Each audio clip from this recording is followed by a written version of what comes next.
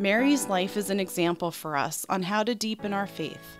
In the Annunciation, Mary invited God's will to be done and accepted God's plan in her heart with faith and trust, even in difficult times.